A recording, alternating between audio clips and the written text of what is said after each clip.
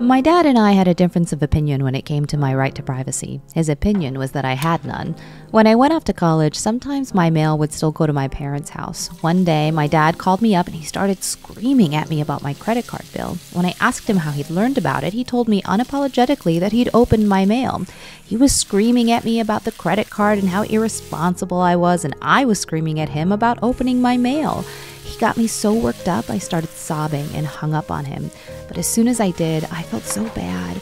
I knew in my heart that my dad just didn't understand how things worked in America with privacy and all, and that he was just really worried about me getting into credit card debt so young. So I reached for the phone to call him back when it rang in my hand.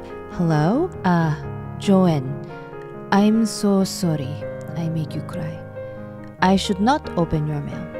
I won't do again, okay? It seems like a small thing, but it made all the difference in the world between me and my dad.